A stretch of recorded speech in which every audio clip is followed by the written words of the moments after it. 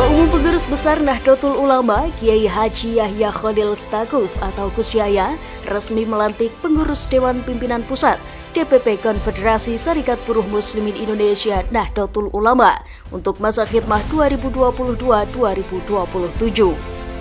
Prosesi pelantikan itu dilangsungkan di Hotel Akasia Jakarta Pusat pada Kamis 15 Desember 2022. Prosesi pelantikan berjalan khidmah dan ditandai dengan pembacaan bayat yang dipimpin langsung oleh Gus Yahya dan diikuti serentak oleh para pengurus Konfederasi Sarpumusi. Berikut susunan pengurus DPP Konfederasi Sarpumusi di bawah kepemimpinan Irham Ali Saifuddin. Di jajaran Majelis Pembina Organisasi atau MPO terdapat nama-nama antara lain Syaiful Bahri Ansori, Yakut Khalil Qaumas, M. Hanif Dakiri, Alisa Kotrun Nada Munawaroh Wahid atau Ning Alisa Wahid, Jody Mahardi, Haji Taufik R. Abdullah, Andin A.J. Sofihara, Juri Ardiantoro, Kiai Haji Ainullah Arla Al-Habib, Ridwan Balia, Muhammad Syafiq Alilha, Hamid Ibrahim, Abdul Fatah, Niko Ardian, Habib Soleh, dan Ummu Azizah Mukarnawati. Lalu para ketua bidang yang terdiri dari Acil Asep Saipudin, Imam Mukhlas Ubaidillah Amin, Haji Baitul Khairi, Ali Zaziro Hidayat, Eka Fitri Rahmawati, Muhammad Albara, Agung Prastowo, Jimmy Mu'taswim Billah, Pupung Syaiful Kamil, Jaswiono Rusdi, Fajar Dwi Wisnuwardani, Dalail, dan Miftahul Aziz. Sementara jabatan Sekretaris Jenderal ditempati oleh Syaifuddin Ahram Al-Ayubi. Adapun jajaran Wakil Sekretaris Jenderal antara lain Anis Mansur, Alfani, Nurul Afifah Habibi, Ahmad Afendi, Sutrisno Uloli, Ahmad Tuhan, Hijroatul Mahfiroh, Dewi Huta Barat, Didi Saleh, Kuat Hermawan Santoso, Sri Murtopo, Muhammad Khaironi, dan Ika Rostianti. Sedangkan bendahara umum adalah Jibril Fathul Mu'in yang disertai oleh para wakil bendahara yang terdiri dari Sumarsono, Afarihul Badi, Fauki Hadi Pekso, Yaman Pritana, Abdurrahman S. Fauzi, Budi Hartawan, Ahmad Budi Prasetya, Ubaidillah, dan Haryo Supowo.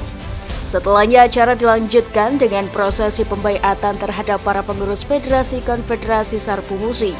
Pembayatan dipimpin oleh Presiden DPP Konfederasi Sarpu Musi Irham Ali Saifuddin. Mereka yang diambil bayatnya terdiri dari Ketua dan Sekretaris 10 Federasi Konfederasi Sarpu Musi.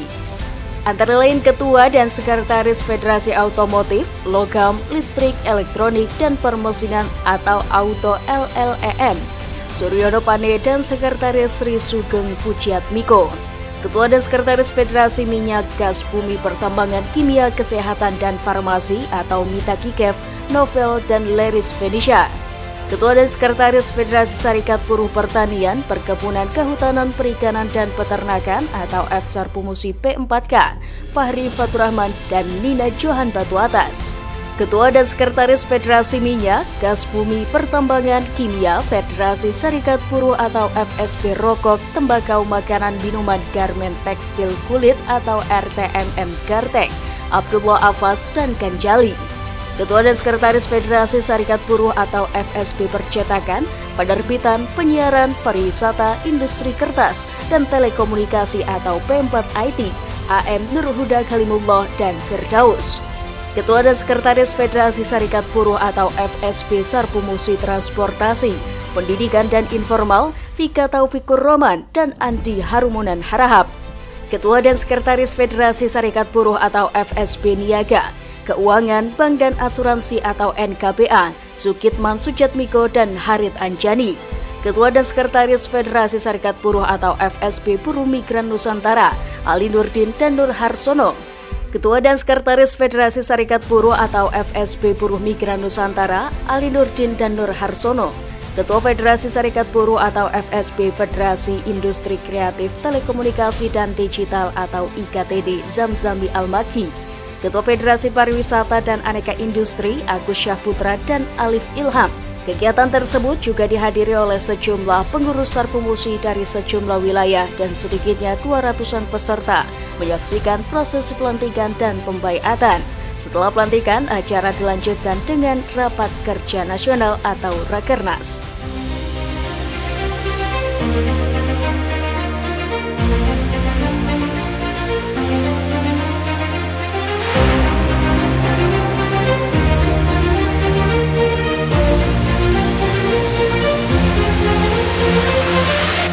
NU melaporkan.